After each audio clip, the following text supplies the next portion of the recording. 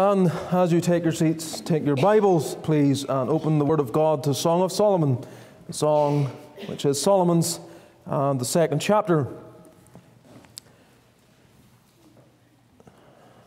Said this morning that God willing will finish Philemon, but the chances of finishing Song of Solomon are very, very unlikely for me over the next couple of weeks to get through chapter 3, 4, 5, 6, 7, 8. Um, not, not likely at all. So uh, we won't even attempt.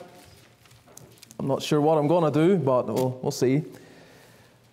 Uh, but at the very least, we'll finish chapter 2, and I, I'm really, really wanting to preach the opening verses of chapter 3 as well. So I would imagine next week, God willing, we'll just continue on into the third chapter. But uh, yes, we'll not be able to finish it, but the Lord knows. And we trust He'll bless what is preached and what has been preached. We're going to commence reading of verse 8, Song of Solomon, chapter 2, verse 8.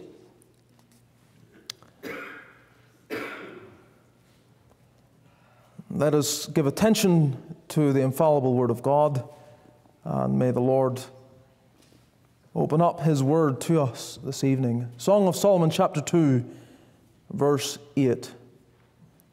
The voice of my beloved, behold, he cometh leaping upon the mountains, skipping upon the hills. My beloved is like a roe or a young hart. Behold, he standeth behind her wall. He looketh forth at the windows, showing himself through the lattice. My beloved spake and said unto me, Rise up, my love, my fair one, and come away. For lo, the winter is past, the rain is over and gone. The flowers appear in the earth. The time of the singing of birds is come, and the voice of the turtle is heard in our land. The fig tree putteth forth her green figs and the vines with the tender grape give a good smell. Arise, my love, my fair one, and come away. O my dove, that art in the clefts of the rock, in the secret places of the stairs, let me see thy countenance, let me hear thy voice. For sweet is thy voice, and thy countenance is comely. Take us, the foxes, the little foxes, that spoil the vines for our vines have tender grapes. My beloved is mine, and I am his. He feedeth among the lilies until the day break and the shadows flee away. Turn, my beloved, and be thou like a roe or a young hart upon the mountains of Bether. Amen. We'll end the reading there at the end of the chapter, and I encourage you to bow your head and your heart before the Lord once again. Let us all still our hearts and Seek the face of God. Lord, we would be fools to think that by nature we can fully comprehend Thy Word. No matter how much study we give to it, we are absolutely dependent upon the illumination of the Spirit of God upon our hearts and minds. Lord, give us that illuminating power. May that influence be upon us. May it please thee to send thy Spirit on this gathering and take the word of God and mightily, mightily give light to thy truth. We pray that as it is read and proclaimed, that there would be that sense of unusual heaven sent power, and that the Spirit of God will take the utterances of men and use what is thy word to bring life into the hearts of the dead, to quicken, O God, those that need to experience the new birth, deal with one and all. Help me, Lord. Fill me with thy Spirit and come down upon this congregation.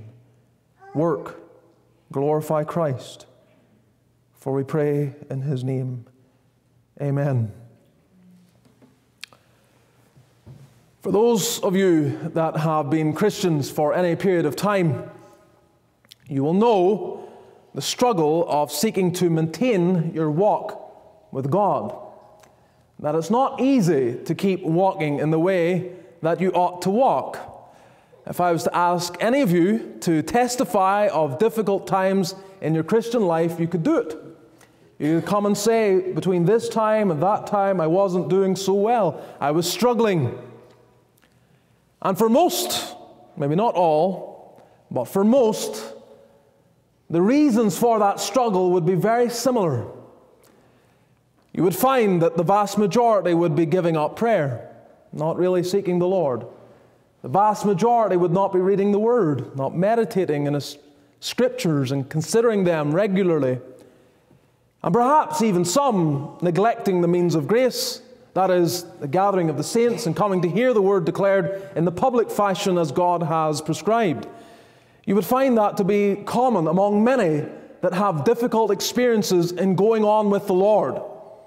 There are other factors, there are other issues. Perhaps it's not so much what you've left off as it is what has come in. And sometimes that's the case. That as you trace back and you say, you know, you know, preacher, if I'm honest with you tonight, there was times that were sweeter with the Lord. And if I was to ask you, well, what happened? What's made the difference? You would say, Well, you know, I think if I really thought about it hard enough, it would be this matter, or that matter, or the other. Sometimes it's career, the busyness of life. Sometimes it's a hobby or some little thing that comes in. Someone mentions some program that they start watching on Netflix and you start watching it. And you never really got into a series before, but, but now you're immersed in it. And hours are wasted every evening and binging on all the garbage of the day. And you wonder why, why you're not enjoying the sweet fellowship that you once enjoyed. Common things, really. Common things that get in there and sever our enjoyment of the Lord. And if that is the case for you tonight, if you are not where you once were, you should not be content to stay where you are. You remember that passage in Elisha's life? And you have that man, and he's they're chopping down the tree, and the axe head falls off and falls into the water. And he comes along and he's like, you know, he can't continue on the work because he's no axe head. There's no point in trying to cut down the tree with the shaft of the axe. He needs the head. And the question is asked, where fell it? Where fell it? And he knows exactly where it fell. He's able to point exactly where it is. And of course, on that occasion, Elisha causes, it says the iron did swim. The iron came and floated to the top, and he picked it up, and he could carry on. But the same is true concerning your life sometimes. Where fell it? Where did I fall? Where did I go back? What came into my life and hindered? if I was to ask you that question, you would say, you know, I could point right to it. There, that thing, that time, that event. And you need to get it back up again and get a hold of it and go on with the Lord. This vile world is no friend of grace to help us on to God. And when we come to the passage we're looking at this evening, the, the remaining verses of Song of Solomon, chapter 2, you can see this and it will come forth as we meditate on these verses. The bride, of course, is recording what her beloved had said to her on a previous occasion. You see that in verse 10. My beloved spake and said unto me, Rise up, my love, my fair one, and come away. And all the verses, we've already looked at them a month ago these verses uh, from verse 8 down to verse 13. But you see how she's recording what he has said in the past, how she is putting on record what he said, My beloved spake and said unto me, Rise up, my love, my fair one, and come away, for lo, winter is past, and so on. Right down to the end of verse 13, where he repeats that same uh, word to her Arise, my love, my fair one, and come away. And that was a word to her. And it's good to be able to remember what the Lord has said to us, especially when He comes to encourage us to go on with Himself. Where He comes and she's able to, re- to remember what the Lord has said. And you need to do that as well in your Christian life. Well, it carries on in verse 14 through 17. And as we look at these verses, we're considering them under the title Maintaining Fellowship with Christ. maintaining fellowship with Christ, because I think that's really the essence of what is conveyed in these verses. I want you to note with me, first of all, a call, a call that comes forth really at the heart of verse 14. Let's read verse 14. O my dove, that art in the clefts of the rock, in the secret places of the stairs, let me see thy countenance, let me hear thy voice. For sweet is thy voice, and thy countenance is comely. As you look at that verse, you can see that what precedes the, the, the, call is really just saying something that's true about her, O my dove, that art in the clefts of the rock and the secret places of the stairs. But the real heart of why he is speaking, why he is communicating, is in these words Let me see thy countenance, let me hear thy voice. That's the call. The groom is calling the bride into fellowship into communion. And this is what Christ says to his people. This is a word that he communicates to his church. Let me see thy countenance, let me hear thy voice. Now, if we understand who we are by nature, then we have to ask the question how is this possible?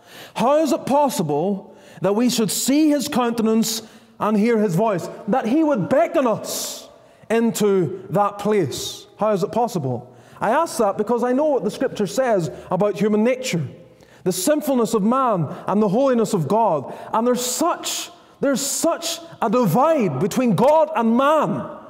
How is it possible that he could ever beckon the sinner and encourage the sinner to come near to him that he might see their countenance and hear their voice?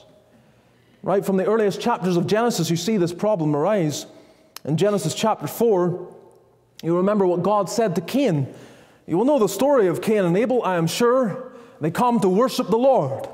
And it tells us that they brought their offerings. That's the word that's used, brought. That's the, the verb. So, in bringing, there is implied there a place where you bring something. You mean you can't bring something without kind of going, be going somewhere. You have to kind of have a, a destination of where you're bringing something to. And so they had been taught, these boys had been taught by their father, by Adam, that they have to worship the true and living God. And he had taught them how to worship and upon what basis they worship. Because whenever Adam had sinned, you will know what the Lord did, that they tried to hide themselves and made sewed fig leaves together. And God said, This will not do. This is the work of man's hands and he slew an animal and he put those skins upon them as a sign that, by, that, that the blood must be shed for a covering. And then there was that symboling of the covering by the skins that they wore. Well, Adam got this, he understood this. And he communicates to his boys, this is how we worship God. And there was a place where they worshiped. A place appointed, a place where Adam said, Here's where we worship God. And one day the boys come along and they worship. Of course, Abel obeys his dad. He listens to the word of God. He, he follows the, the instruction, as it were, and he, he brings of the flock, as it were. Blood is shed. Whereas Cain, he decides to bring the fruit of the ground, and he is rejected. Now, I'm just kind of reminding you of that scene. And God, of course, rejects his offering, and Cain, he turns aside. Instead of humbling himself, he will not humble himself. And then he takes it out on his brother, and he kills his own brother. Now, when we come to verses 13 and 14 of Genesis 4, we read these words And Cain said unto the Lord, My punishment is greater than I can bear. Behold, thou hast driven me out this day from the face of the earth, and from thy face shall I be hid. And there you have an early reference to the struggle, the difficulty, we might say the impossibility of man being before the face of God. Cain's sin, Cain's rebellion evidenced this fact that he was not the Lord's. And in his sin, he is banished from the Lord. And he says, And from thy face shall I be hid. I will have no access before God. And that is the condition of men by nature. They have no grounds to come before God's face. If you're here tonight and you think that by religious activity, deeds, the work of your own hands, or the hands of any other man or other than the God man, you are deluded. You can't please God. You can't come before his face. You have no access at all. You're no better than Cain. If you're not born of the Spirit of God, you are as Cain was. And I trust that you're sensible to this condition and you realize it because it's a sad thing to be deluded. On the contrary, of course, you have the occasion in Genesis in the life of Jacob when he met with the angel of the Lord in Genesis chapter 32. And some of you will be familiar with that scene as well, where he wrestled with that angel until the breaking of the day. And on that occasion, as he wrestles with them and he's, he's struggling, and I will not let thee go except thou bless me, and so on, we see recorded in verse 30 of Genesis 32 Jacob called the name of the place Peniel, for I have seen God face to face, and my life is preserved. Now, I believe there Jacob was converted. God came and wrestled with him, and Jacob experienced genuine salvation. And in that saving experience, God comes in this prefiguring of the God man. It's a foreshadowing of the fact that God would become man. And here in this angel of the Lord, it's not just some angel, some mere being of the heavenlies. As he wrestles, he becomes aware that this is not some mere creature or person or being that is somehow uh, just like me or, or, or, even some of the host of heaven. He realizes he's wrestling with God himself. He says, I have seen God face to face, and my life is preserved. Now, as he wrestled there, again, that's a picture of, of, of as, as an experience of of Christ coming to the hearts of men. And because Christ is wrestling with Jacob, he is preserved. His life is preserved. Christ mediates mercy to the sinner so that instead of being burnt up before the face of God, their life is preserved. Jacob's surprised. He's surprised that he is not cut off. But this is his first real experience of saving grace, and it allows him to see God's face. This is what Christians enjoy.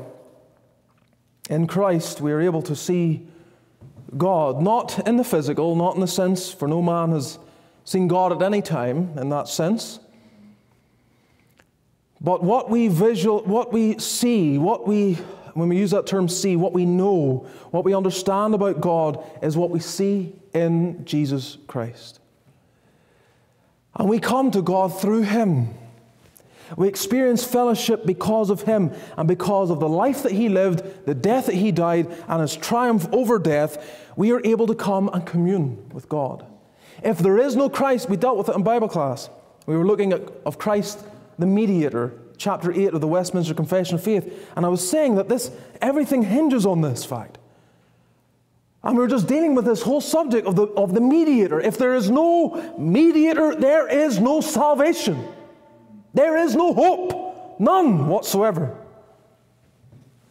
But because there is a mediator, it's not just that there is some faint hope, there is tremendous hope. And for those in Christ, there is this call that come, comes to them. The Lord's able to say to his church, look at it, verse 14, let me see thy countenance. Is this not what he did with Jacob? Let me see thy countenance, Jacob. Let me hear thy voice. The Lord delighted in that, that desire of Jacob's heart that uh, I will not let thee go except thou bless me. The Lord delighted in that. And because of his union with God in Christ, as it were, because of his salvation in the Son of God, and this that we all enjoy if we are saved here tonight, it may be said to any one of us this call, Let me see thy countenance, let me hear thy voice. What a wonderful blessing. Now, Again, there are a few things around it that help illuminate all of this. She receives this call because of her protection. She receives this call because of her protection, because it says that, O my dove, that art in the clefts of the rock, in the clefts of the rock, has this idea of refuge, of hiding in the cliffs, of hiding in a place where we are away from, of da- from danger and anything that might take away our lives. And the psalmist speaks much in language like this. I'm not going to rehearse all the verses, there, there are many. But just for one example, Psalm 18, verse 2, David says, The Lord is my rock and my fortress. And, and, and it goes on, and the language is just this idea of refuge, of refuge. And that's what's conveyed here. That she is in the clefts of the rock, she's hiding in a place of refuge. You may also remember Moses In Exodus chapter 33, when he prayed that prayer, Show me thy glory, remember that? He wanted to see something of the glory of God. And so it is told to him in verse 22 of Exodus 33 And it shall come to pass, while my glory passeth by, that I will put thee in the cleft of the rock, and will cover thee with my hand while I pass by. I'll hide you in there, in the cleft of the rock. It's a place of refuge. It's a place where you're hidden and you're preserved and you're protected. And this is where she is. And this is where the church is, beloved. The church is in a place of protection.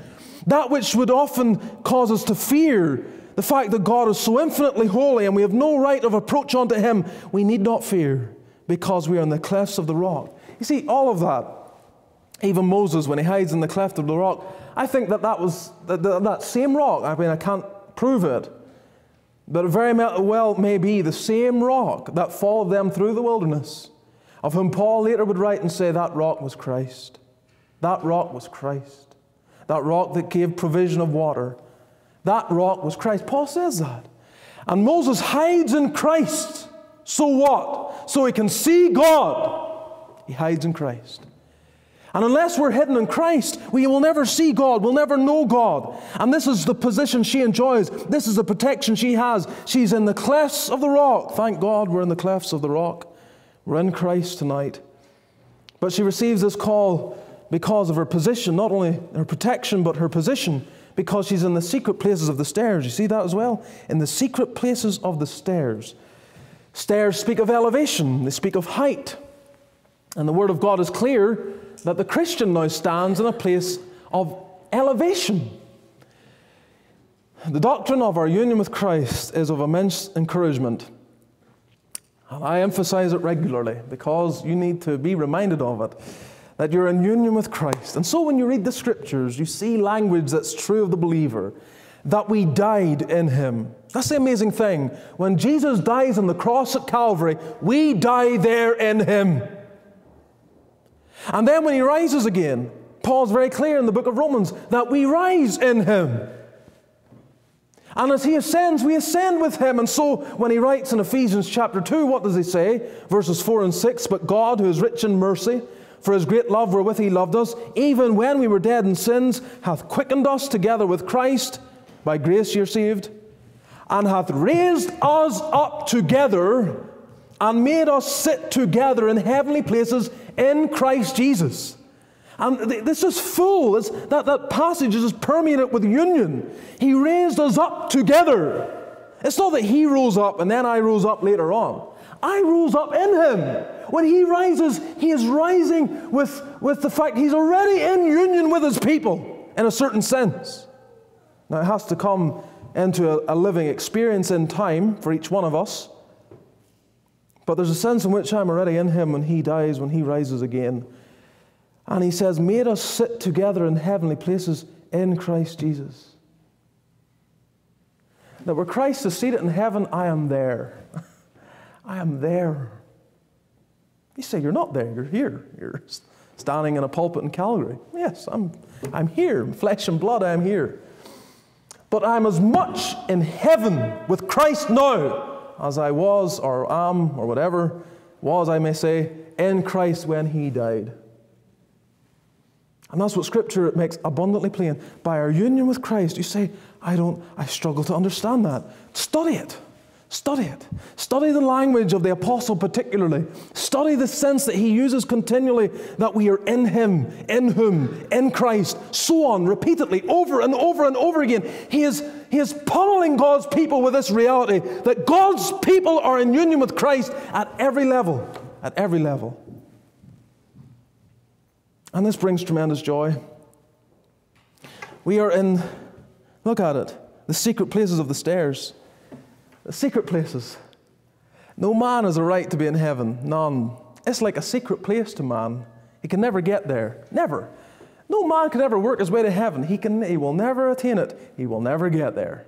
But where's the believer? Where's the believer? He is there. He's there. In Christ, he's already there, together with him in heavenly places. That Christ, through his life and death and resurrection and our union with him, that we are brought seated together with him in a secret place where no man can be except through his merit and his work. And so we are elevated to this. Oh, you, you may not attain the, the position you like in life, the promotions you seek for, the money you desire, whatever your hearts are inclined towards. But you literally could not ask for more than what has been provided for you in Christ. You couldn't ask for more.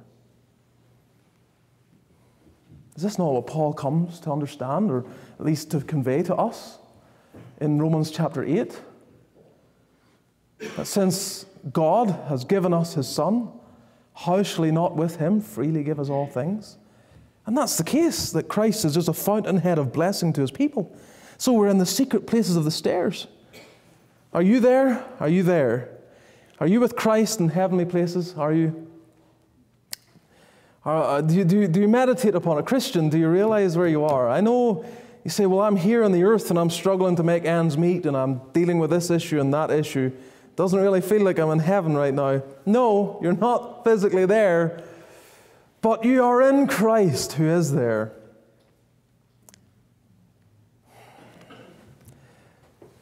There are numberless blessings that I think are hidden from all of our views because of what we have in Christ. And so Christ can commune. This is really the, the heart of it. When I ask the question, how can we ever come to have such an invitation like this, such a call as this, let me see thy countenance, let me hear thy voice? It's because of our union in Christ. We are in the clefts of the rock, we're in Christ there. We're in the secret places of the stairs. And so he says, because you're there, in essence, we might say, Because you're in me, because you're in me, let me see thy countenance. Let me hear thy voice. For sweet is thy voice, and thy countenance is comely. Does the Lord hear your voice? Does he see your face? Maybe you believe that lie. You say to yourself, I can't pray right now. There's sin in my life right now, and I, I know I can't pray. Let me let you in on something. There's always sin in your life, always. Now, I'm not, I'm not passing over gross sin, deliberate rebellion. I'm not saying that's a light thing. I'm not. But at the same time, at the same time, as you grow in holiness, you will grow in your understanding of the depth of depravity of your heart. You know, when you come to Christ and you get saved, you're like, there's this big thing in your life and you have to deal with that. I mean, this is the problem some people have. You say, I can't come to Christ because of this sin in my life. And you tell them, look, Christ will deal with that sin. He doesn't say, clean up your life and then come. He says, come and I'll clean up your life.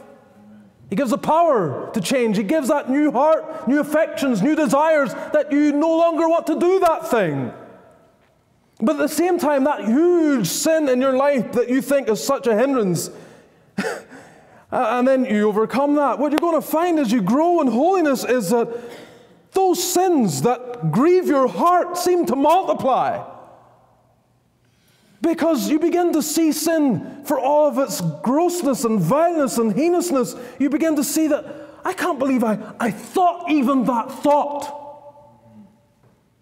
I can't believe I uttered that word, that, that the way I uttered that to my wife, that there was a sharpness in my tone. God forgive me.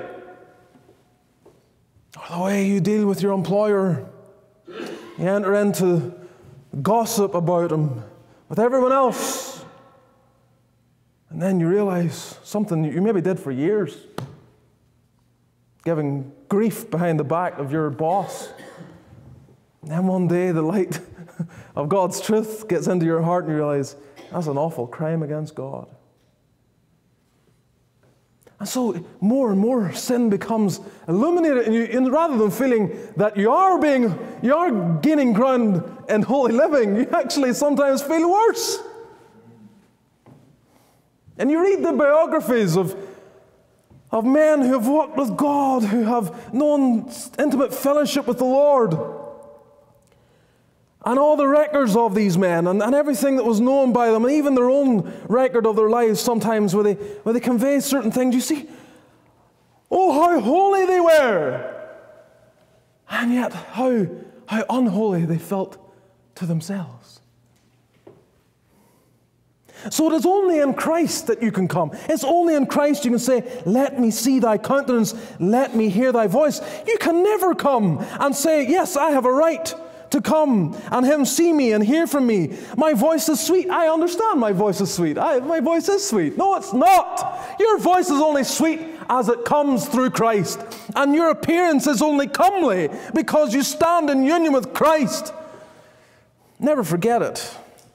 So you say, I'm struggling with sin right now. You need to be on your knees before the Lord praying. He needs to hear your voice, He needs to see your face. In fact, He's calling it out. He's saying, Is He not saying to you tonight, Let me see your countenance again, Christian? Let me hear your voice again. The amazing thing is that it is sweet to Him. But this is all because of Him, all that He has done. And she receives this call because of her purity. I can't spend too much time on this, but you see how he begins? Oh, my dove, oh, my dove.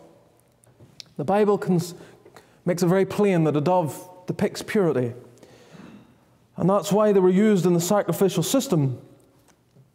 The only birds that are used, the, the dove and the, the turtle dove, the pigeon, that's the only birds used in the sacrificial system. That's also why the Lord Jesus Christ, when he was baptized, the Holy Spirit came down upon him, Luke tells us, in the form of a dove, showing that he was, that other men had been filled with the Spirit of God. Other men, the Holy Spirit had come upon them, but never in the form of a dove. And so, because of his purity and the purity of the Holy Spirit, could come and fill his life. And he was filled with the Holy Spirit without measure, we're told. So, the dove is a symbol of purity. And she is addressed in this way, O my dove. The Christian, you see, is to have dove like qualities. Why? Because they're to have the indwelling spirit. That pure spirit is in the heart of the believer. And it is therefore to manifest purity. Now, purity in a number of ways. First, purity in relation to the world. Purity in relation to the world. We are meant to be different. I know it's not popular, but the word of God is plain. What does, what does Paul say in 1 Thessalonians 4, verse 3? This is the will of God. Now, again, young people, when I was over with Reverend Goliker, he wanted me to address the young people on Saturday evening just for a short time. And one of the questions they asked there was about the will of God. How can we know the will of God? And that question was put to them, and they, would, they answered and did very well with that. And then I, I kind of added some things to that because this, is, this, I asked them the question Do you ever struggle with the will of God? And of course, they were like, Yes, all the time, every day, struggling with the will of God. Young people, almost, uh, almost universally in the church, struggle with the will of God. What is the will of God for my life? And I can't give you an answer. I can't give you an answer in regard to your education, what direction you should take, or your employment, or your relationship. I can't give hard and fast rules for all of you and say this is a person for you and this is the job for you and this is the course you should take. I can't make that claim. I don't know what God's will is in that prophetic sense. But this is what I do understand. If young people and older people, but if young people, particularly struggling with the will of God, would get what Paul says, this is the will of God. This is the will of God. What is it, Paul? Even your sanctification. This is the will of God your holiness. That's what sanctification is. You being set apart. This is the will of God, your holiness.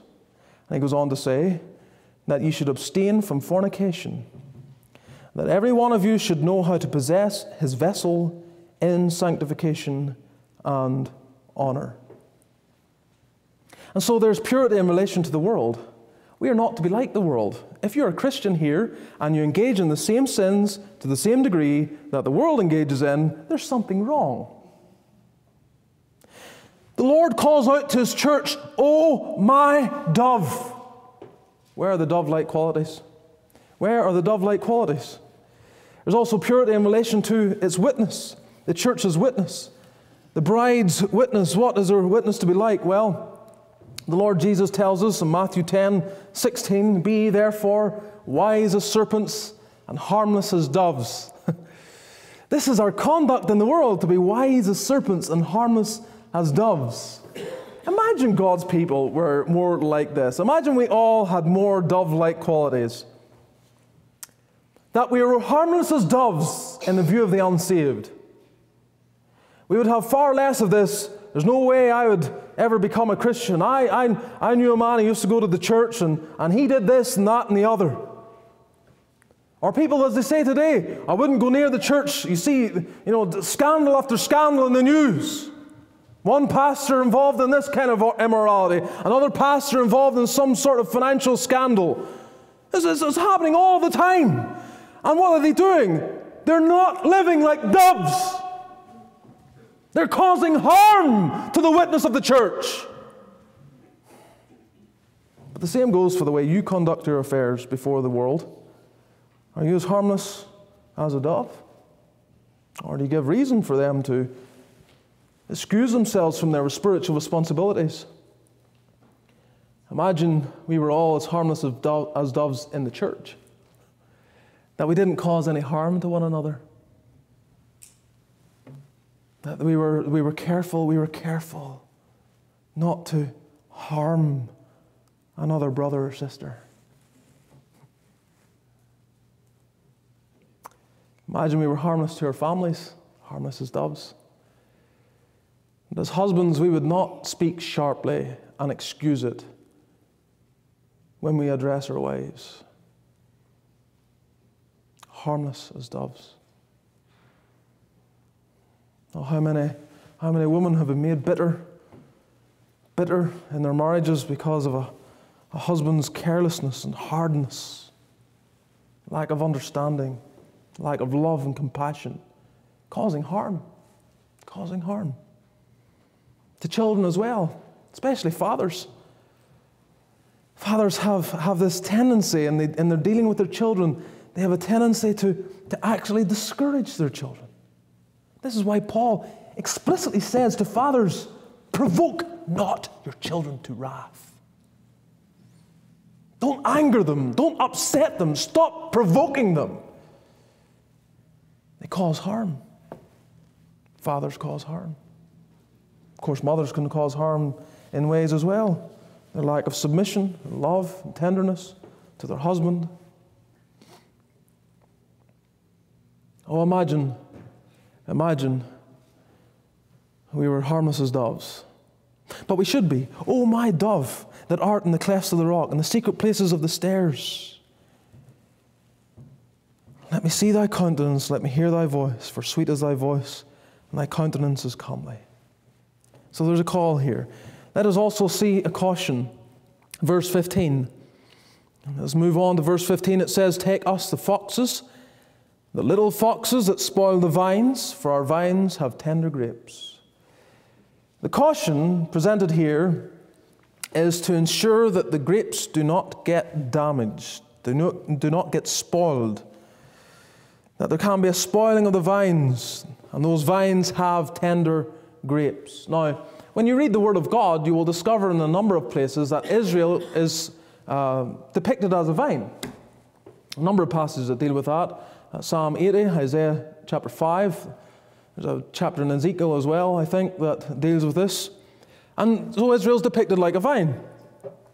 Now, here we are told that the vine should not be spoiled. The fruit of the vine should not be spoiled. It shouldn't be destroyed or corrupted. And so, this desire to preserve the fruit is intimated in the language. It's a caution, therefore. It's a caution. Take us the foxes, the little foxes that spoil the vines, for our vines of tender grapes. Now, what are the foxes? That's the question. what are they relating to here? Obviously, it's the animal. We know what a fox is, and they can come and they can they spoil the fruit of these vines. And, and, and foxes are destructive. I mean, that's in their nature. I mean, I know I, am a townie. Most of you are city slickers. Don't know too much about the countryside. But if you ever try to keep hens, one of the things you will need to try and keep out are foxes or things of that nature. And you, you, you will hear about it. Anyone who keep, keeps hens, they, they, they will know the fear of a fox coming in. Because a fox will get in. If there's any chance, any way in at all, they will get in. I mean, they tell you to put the fencing at least a foot down into the ground to try and keep the fox from digging under. And make sure it's high enough, at least six foot tall, because if it's five foot, it could even scale over it. So you have to be careful. And what they will do is they will go in and they will kill every hen and walk out with one. Destroy everything. Foxes have this destructive nature. Now, in Scripture, we ask ourselves, well, in what way can we understand exactly what the foxes depict? Well, in one way, we can think of evil men being likened to a fox and their corrupting influence upon the church. Jesus says in Luke chapter 13 about Herod being that old fox. And Herod had fox like qualities. In other words, he was destructive. He had absolutely no sympathy toward the church whatsoever, toward God's people. And evil men are like foxes. They're destructive, they're evil, they're corrupting in their influences. And you look out into the world today, you will find many foxes, many. People who try to destroy the church. But I'm not going to get sidetracked into that. I think these foxes are really more those other tiny little things because the, the little foxes, these little foxes, in other words, at times it's so easy not to discern their entrance. These little foxes are the things that come in and cause a problem in the fruitfulness of our living. They destroy our fruit bearing, they prevent us from bearing fruit. Now, it may be external circumstances like evil men, but I, usually it's going to be something in our life. Solomon writes in Ecclesiastes chapter 10, verse 1, very interesting. Ecclesiastes 10, verse 1 Dead flies cause the ointment of the apothecary to send forth a stinking savor. Dead flies cause the ointment of the apothecary to send forth a stinking savor. So you have this, this, this little ointment in a bottle, and flies get in, and those tiny little flies. I mean, you'd hardly know they even were in the ointment in the first place. But they spoil it. And before you realize, when you begin to smell the, the, the, the, there's something putrid, something wrong with the ointment, it doesn't smell the way it ought to smell. And then you look and you examine and you realize afterwards, little flies have gotten in. He goes on and likens this to the life of a man because he says, Dead flies cause the ointment of the apothecary to send forth a stinking savour. So doth a little folly. That is so doth a little folly him that is in reputation for wisdom and honor. And what Solomon has observed in his life is this you can have a man who has been honorable and wise and careful through his whole life. He is known as a man of God, let's say. He has walked with the Lord for years. He is a man of influence, a man of character someone people look up to, someone people go to for advice. And a little fly that spoils the ointment, a little folly destroys his reputation. A little folly. Doesn't take some great big thing, just a little folly. And Solomon uses the same term here, little, except it's foxes. These little foxes that spoil the vines.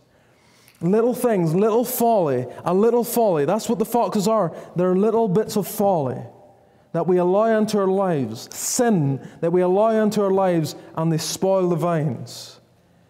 They spoil the fruitfulness of our living. Now, you know this to be true. You know it. The grapes, the fruitfulness of the Christian is a tender thing. It is not easy to continually bear fruit to the Lord, it's a constant struggle. And the biggest struggle we have, the biggest struggle we contend with, is the inner battle, the inner man, the dying to self, the dying to sin, the putting away the old man with his deeds, the mortification of the flesh. This is the ongoing battle. And there are these little foxes that come into your life, and they're, they're little. They're little. They're little because, for the most part, you don't see them. At least, there's a sense in which very often they can creep in undetected. Christians fall into this trap. They, they, they learn holiness, they learn godly activity or ungodly activity from others. Christians justify a change in their behavior all the time by what they see in other Christians.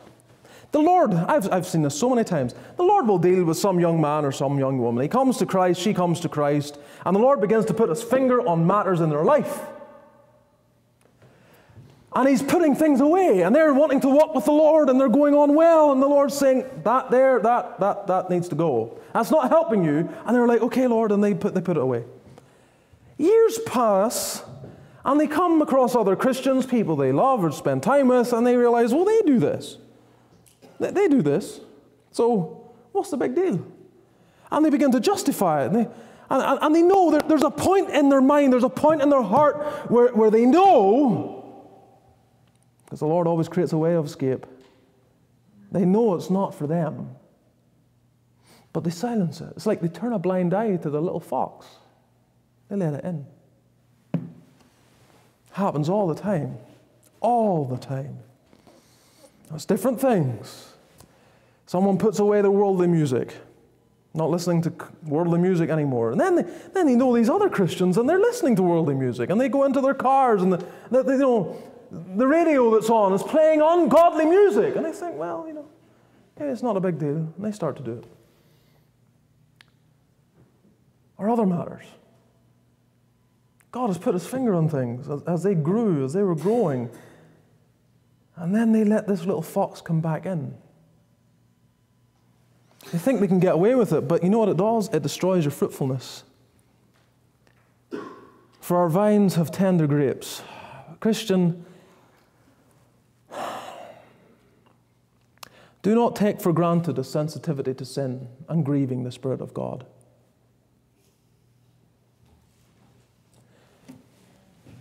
There should be a mindset Lord, make me sensitive. One fox will destroy the entire vine. I just read a quote by Spurgeon. I wonder if I can recall it. No great sin can destroy the Christian, but a small sin can make him miserable. And it's true very true. It's just one little fox, one little step backwards in sanctification, one little step removed from the desire to walk with the Lord, and you let something in. Everyone else is doing it. You have no idea how many times. When we got married, we got married, and we asked ourselves the question. I said to Melanie, I said, Do we want a television? And we both looked at each other and said, Well, we're busy most nights of the week. What would we do with it anyway? And we decided, no. So we didn't want to put that on the wedding list. We didn't want to buy it when we got married. There was, there was no TV. I'm not saying that, you know, with a TV or sans TV it makes you more godly or whatever, but that was a decision we came to. And you would go on, we went to Australia, and in the, the home there, there was a TV. And uh, sure enough, with it there, we watched it.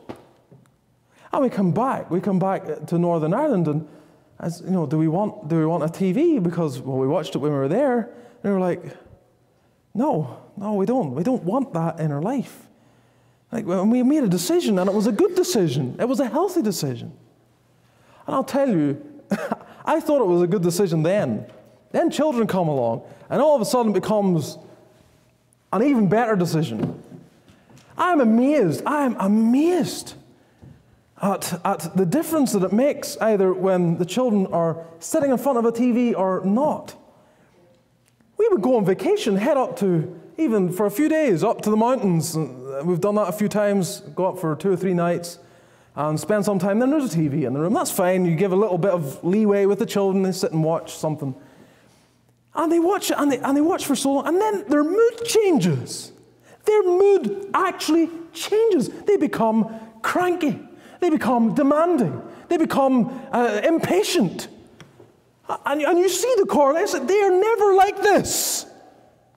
Sitting here in front of this thing actually has affected their mental reasoning and their very character and behavior. Remember one time they were watching one particular program, massive in the UK, Peppa Pig. I don't know if it's as big here, but was watching and I, heard, I heard this, this, uh, her, I think it was her, Peppa's little brother, George, he throws a tantrum in the middle of the program and he starts on the floor slamming you know, his, his, his, hands on the ground and kicking and screaming because he didn't get what he wanted. And I was like, that is it. It is off. And you're never watching Peppa Pig again. This is learned behavior. That when you don't get what you want, that this is the response. You're going to like kick and scream and lie on the floor. And then I, then I know why, because uh, I've seen it. I was standing, I was doing outreach one day, in fact. And we were standing at the train station, and this, this young couple came along, and the little child came along as well. And it just threw itself to the ground in the middle of like Sunridge there by, by the bus station or by the bus stop. And it just threw himself on the ground starts kicking and screaming. Of course, the father, he walked on. It was like it's not mine, but it was. But he walked, he didn't want anything to do with it. And the poor mother, she's trying to pick this child up, and he's kicking and screaming, and I just want, I wanted to go and grab him and say, you intervene. Deal with that child. Don't let it behave like that. But it's learned behavior. And the times you, you kind of think about temptation to go and get, be nice to relax sometimes in front of a nice big TV and watch something and chill out, as it were. And then you say, no, no, that's letting in a little fox.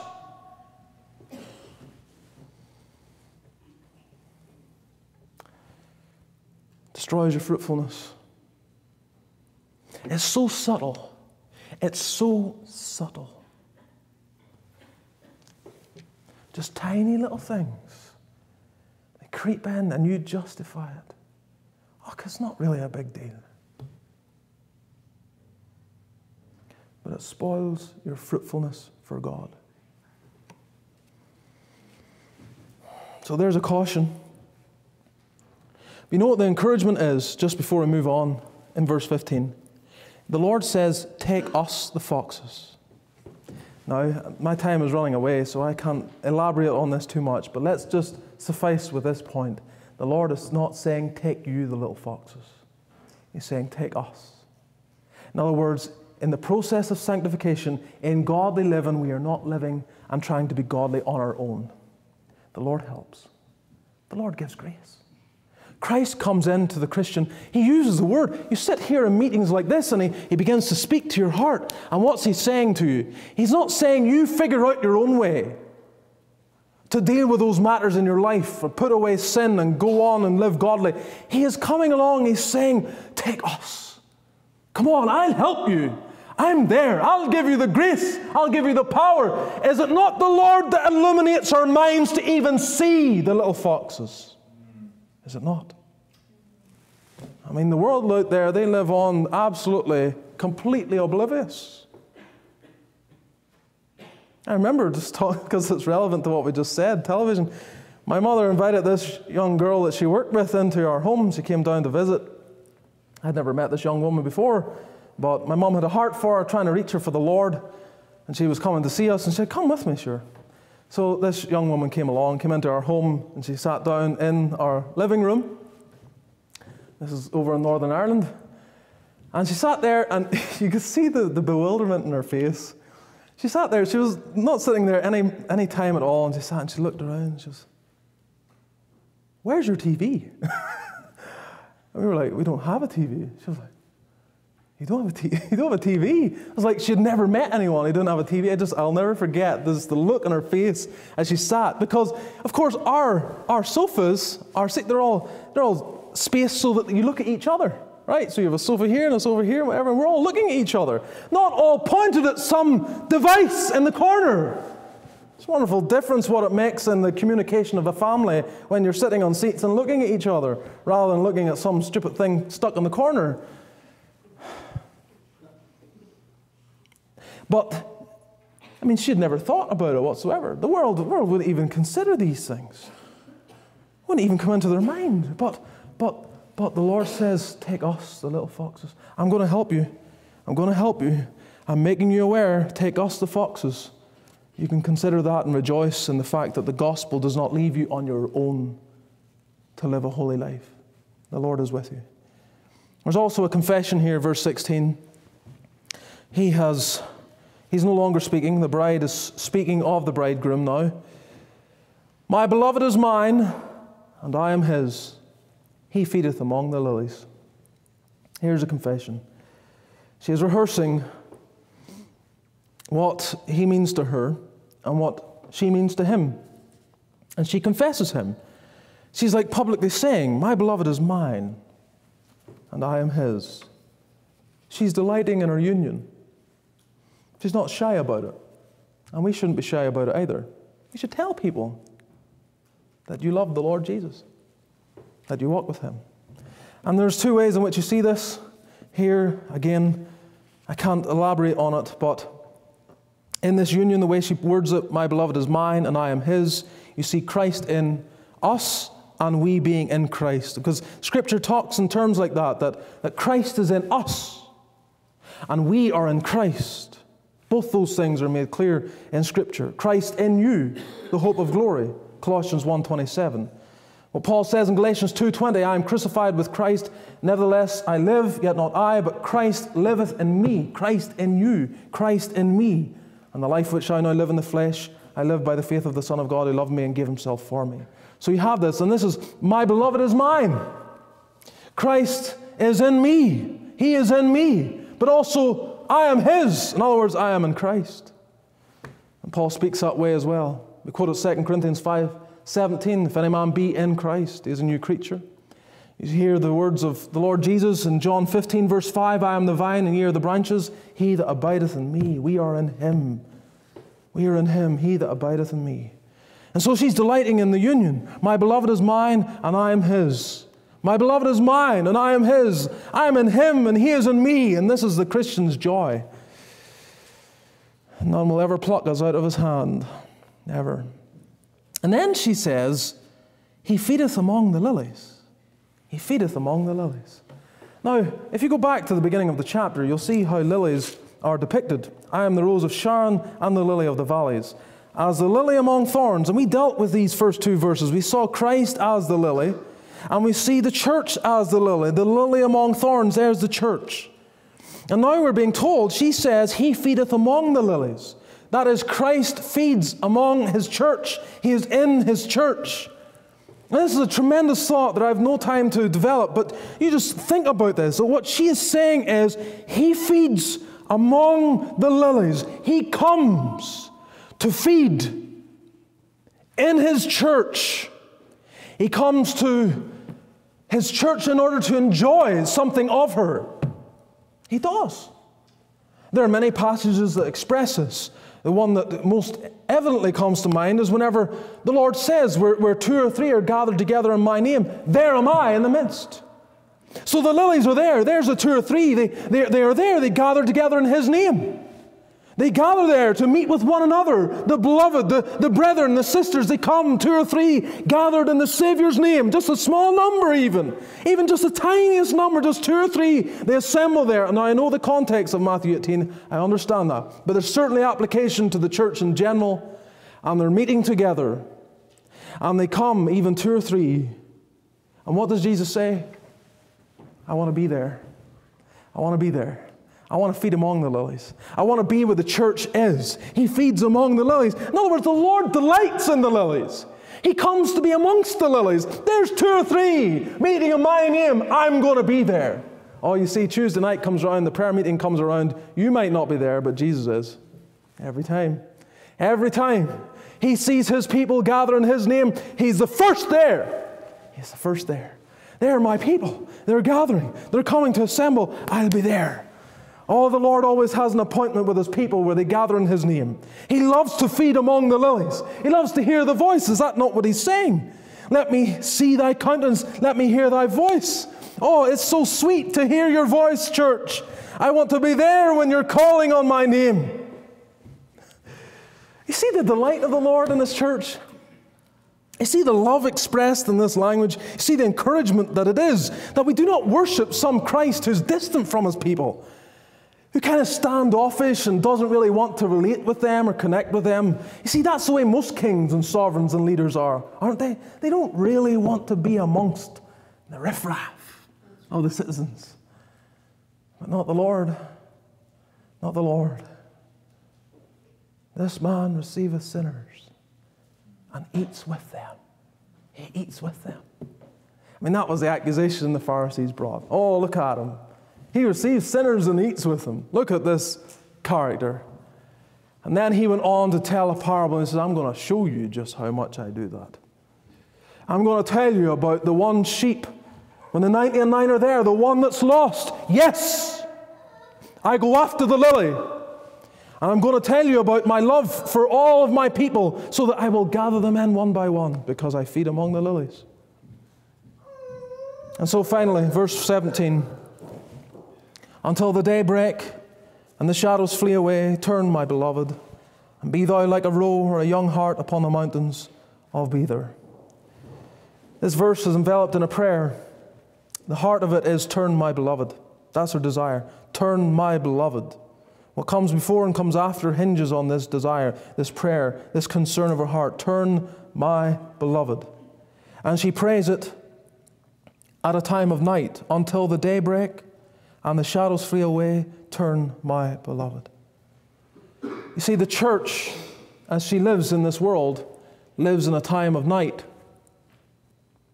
in the darkness of a world in sin. Now, there are some times when the Lord conveys in His Word that, that the opposite of that, really, that His work was going to end at night. When He said in John 9, verse 4, I must work the works of Him that sent me while it is day. The night cometh when no man can work. Now, He uses that, and that's fine. But the opposite is conveyed by Paul when he says in Romans 13, verse 12, the night is far spent, the day is at hand. And he is talking there about our time of sojourning and laboring. This night in which we live is coming to an end. And we will draw into the eternal day of heaven itself. And so that's really what's reflected here by her. She's saying, Turn, my beloved, in the midst of this night in which she lives. And the church lives in, a, in the midst of the, of the night of this world the darkness of sin and depravity and rebellion and hatred, a government that despises the church, a church herself which is uh, polluting herself and destroying herself. And there's just much darkness, much discouragement as evil men and seducers wax worse and worse. But in the midst of this night, there's this cry from the church Turn, my beloved. In other words, in the midst of the darkness of life, in the midnight of life, and the difficulties of life, her prayer is, Turn, Lord. Turn. Now you can trace that prayer through the scriptures. You can think of Psalms where the psalmist says this Turn us, O Lord of hosts. And then the other language that refers to turn, Lord, and cause thy face to shine upon us. Let us see your countenance and they want to see the Lord. That's the prayer. Really, that's the desire. It's like the Greeks came and said to Philip, We would see Jesus. It's the same kind of prayer. Turn, my beloved, I want to see you. And be thou like a roe or a young hart upon the mountains of Bether. Bether speaks of separation, of division. And so we live in a world which brings much division and separation, many obstacles to our walking with the Lord, our fellowship with Christ. You know those obstacles. We've dealt with some of them already. These little foxes, these things that come in, these matters that, that we struggle with as we remain imperfect in this world. But her prayer is Turn, my beloved, and be thou like a roe or a young hart upon the mountains of Bether. Remember what we dealt with there in verse 8? Behold, he cometh leaping upon the mountains, skipping upon the hills. These obstacles are nothing to the Lord as he makes his way to his people, to his church? Nothing. Obstacles are nothing to him. And so she's saying, Be thou like a roe or a young hart upon the mountains of Bether. These huge mountains of separation, they're nothing to those roes and young harts. And so she is desirous that he will come to her again. Turn, my beloved, in the midst of the darkness of this life, come Come and reveal yourself to me. This is a wonderful prayer, a wonderful prayer. And I wonder do you know anything about it? Do you know anything about the Lord turning to you? She does not need to doubt that she can pray this. The church does not need to fear that she can ask, Turn, my beloved. There may be darkness all around, but she knows she can come and say, Turn, turn to me. And his, His dealings with her have taught her this. As we began in verse 14, let me see thy countenance, let me hear thy voice. For sweet is thy voice, and thy countenance is comely. She, we have all the encouragement that the Lord wants to draw near to us. That he, he rejoices in this. That He delights in this. That His desire is just to see you and to hear you. Some people in this world, they may not want to see you. Sometimes even your, your nearest and dearest may get fed up listening to you at certain occasions. But the Lord never gets fed up. Never gets fed up seeing you. Never gets fed up hearing from you, ever. In the midst of the darkness, we can cry, Turn, my beloved. Maybe for some here tonight, this darkness is that darkness of spiritual night, of separation from God, of a lack of spiritual life. And you want the day to break and the shadows to flee away. That's what you want. You want them all to flee away. There you are in the midst of a darkness, a spiritual darkness. You're trying to feel your way to life, perhaps.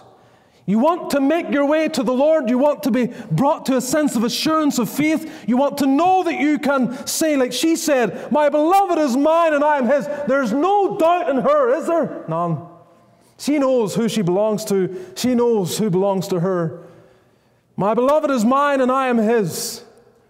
She's able to say that, and the child of God has a right to be assured of it. These things are written that you might know that you have eternal life. You have to know it. And so, in the midst of the darkness, we can say, even spiritually, if you're here tonight and you're lacking assurance, you don't know where you stand, you say, Turn, my beloved, turn, Lord Jesus. Put away the shadows of this spiritual night. Take away the darkness that clouds my vision from seeing you in all of your glories and wonder. Turn it all away. Turn to me. Let me have. Let me have what your people have light all the divisions, all the mountains of Bether, the mountains of separation, all of them, just deal with them, Lord. You know what they are in my life, but just turn, Lord Jesus, turn, Lord Jesus, to me. And He loves it. He loves that cry. Let me see thy countenance, let me hear thy voice. That old rebel hanging upon the cross, dying, crimes, a life of crime. And yet, still, that cry, remember me. Remember me. Remember me.